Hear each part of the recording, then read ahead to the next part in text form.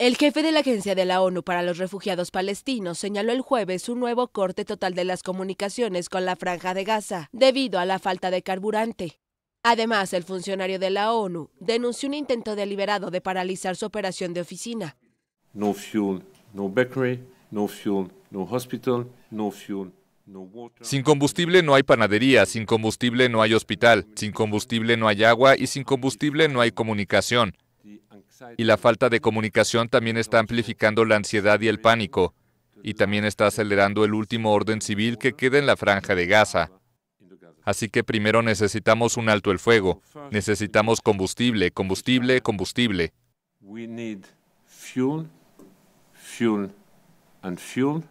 Las autoridades israelíes mantienen un bloqueo total a la franja de Gaza y consideran que el combustible es un producto con alto riesgo de doble uso, civil y militar, que podría beneficiar al movimiento islamista palestino Hamas.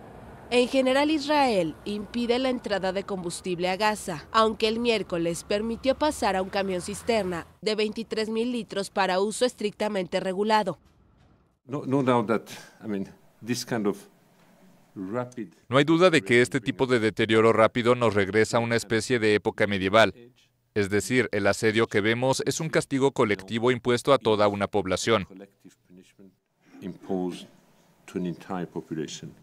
Israel impuso un asedio total a la franja de Gaza y bombardea el enclave desde el 7 de octubre, cuando Hamas atacó en territorio israelí y cerca de 1.200 personas fueron asesinadas, además de que se llevaron a unos 240 rehenes, según el gobierno de Tel Aviv.